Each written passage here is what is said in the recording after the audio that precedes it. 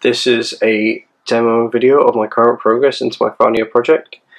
This is the enclosure of my IMU. It houses the IMU, um, a Bluetooth mate, a lithium battery and its respective charger.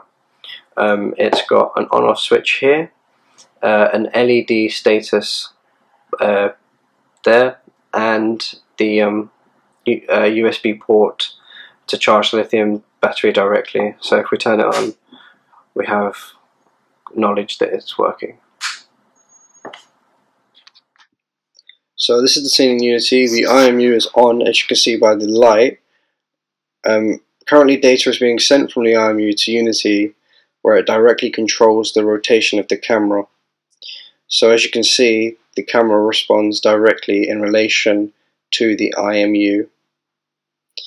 It works to a full uh, 360 degrees on the pitch and roll. So as you can see here. Um, currently, yaw does not work. Um, it's got a few drifting issues with the uh, current filter algorithm, but hopefully that will be fixed soon.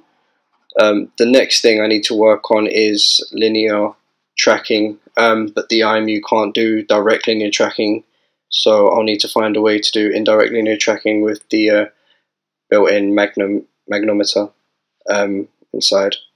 So hopefully that will be it uh, and updated by next week.